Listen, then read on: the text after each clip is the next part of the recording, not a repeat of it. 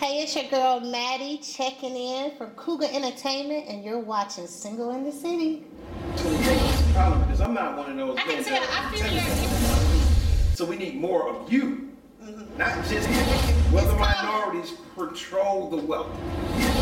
Is G gonna let me talk? You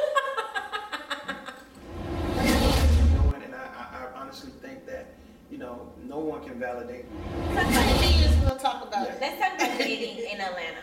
I know G has his own show, but somehow he just took over the show.